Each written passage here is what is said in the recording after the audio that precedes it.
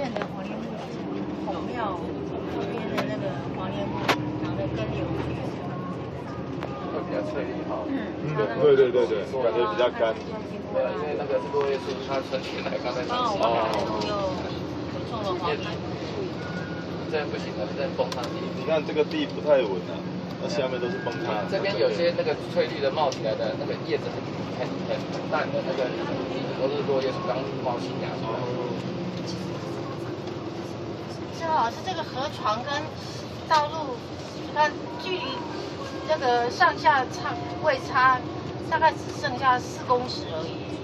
所以在中横那边更惨呢，就走到河床上面。真的、啊？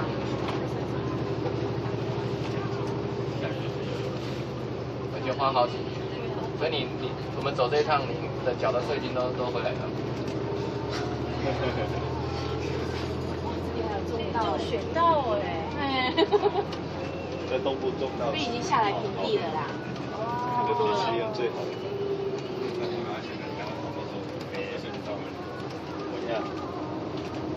种没种不到。啊，我刚刚讲那个我那个学长吴乐天呢，他不是大学念七年吗，吴乐天是公公那个吴乐天吗？同名同姓，但是不同人。然后他从国小、国中、高中到大学哦，都在玩同居。然后他就是就是在做那种户外体验教育哦，他他非常厉害。然后今年的那个东海大学的行政训练是他办的哦。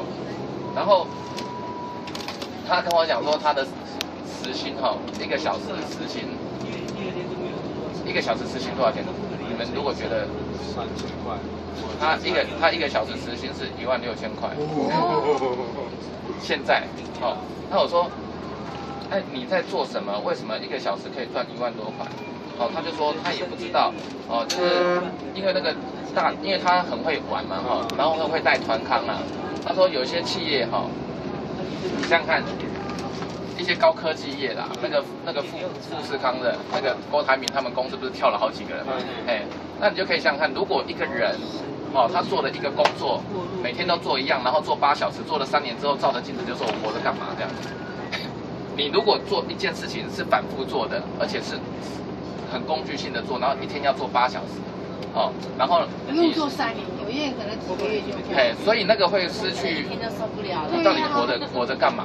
哦，然后，然后他就是有一些公司就请他过去做一个叫做呃士气的激励啦，或者怎么样，然后的外展外展吗？不是不是，就是带着公司的员工，然后让他们能够放松。放松一下。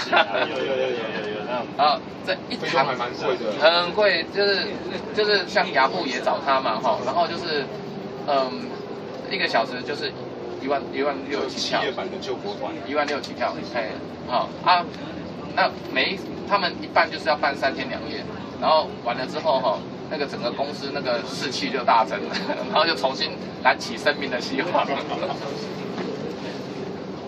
然后我就在四月一号、二号，不是三林书院有开课嘛，哈、就是下礼拜一、礼拜二，他就他就来上啊，我就跟他讲说，四月一号。就是礼拜一、礼拜二，然后就跟他讲说哈，那个我你那么会玩哈，但是我我就跟那个我那个学长讲，那学长也陈老师都是我们的老师啊，我就跟他讲说哈，乐天老师哈这些东西哈不有趣，我就跟他讲说。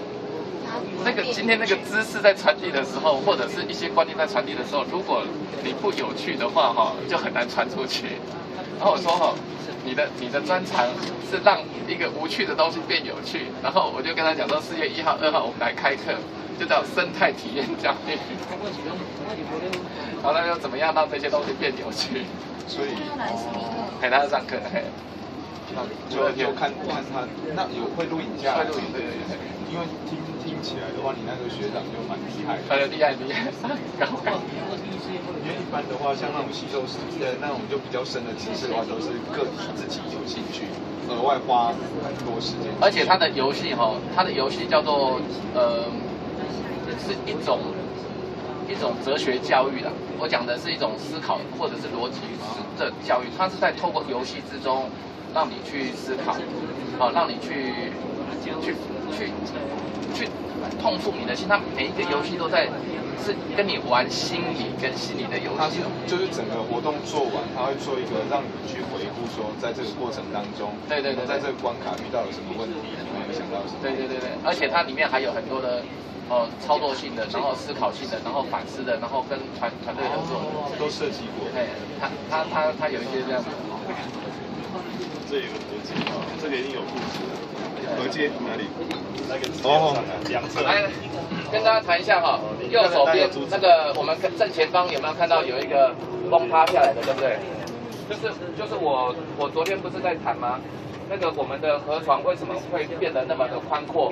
就是上面如果说呃崩塌下来的时候，它会形成，如果这一个刚刚看到那一面整个崩对对对。崩下来的时候，如果挡住河床的话，哦，就会形成堰塞湖。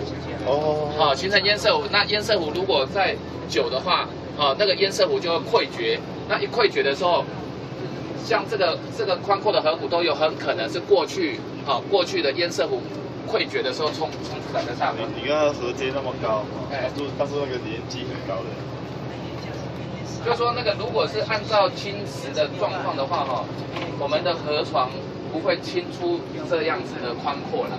这是这是一个推论嘛？啊那有没有比较明确的证明说，哎，这这个是没有没有，因为这两侧哈，因为它是溪谷或山洪爆发，它不那个河阶不能够残存，那边是刚好一个支流，它刚好避过这个大水的攻击，直接攻击路线，所以它留在那边。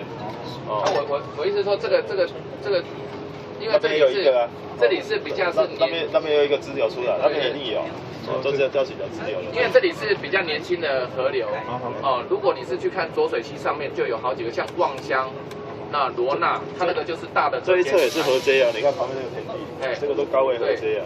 这些就是过去在崩下来的时候，它把河床堵住，然后再冲出来的。对对对，这些都高位河阶。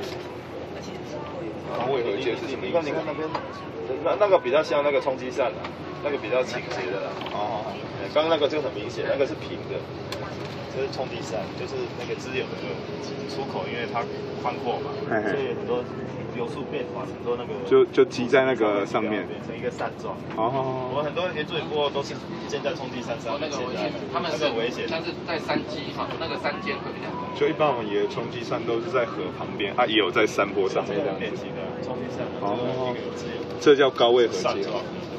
哎那你是冲击扇。道歉呢？对啊。但但是他说那个也是冲击，冲击，虽然它很高。它这比较有点冲击上比较有点倾斜，它这种河阶它比较倾斜，那个那个地方是危险的地方，对，那也是危险的那。个土石流的冲撞。对对对。对，冲击扇它也不稳定啊，什么时候再一次？它它都是这样一直堆积的。你所有的冲击山是因为河流带来的冲击山，还是土石流的冲击？当然是流水啊，哦流水流水，因为它在那个浦口嘛，宽阔嘛。